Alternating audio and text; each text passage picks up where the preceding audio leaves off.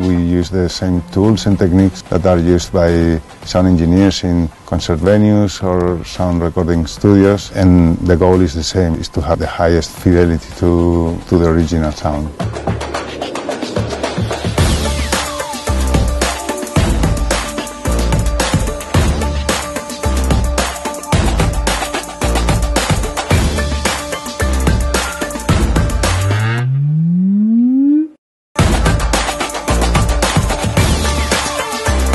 Our goal is to have the, a good staging effect in front of us.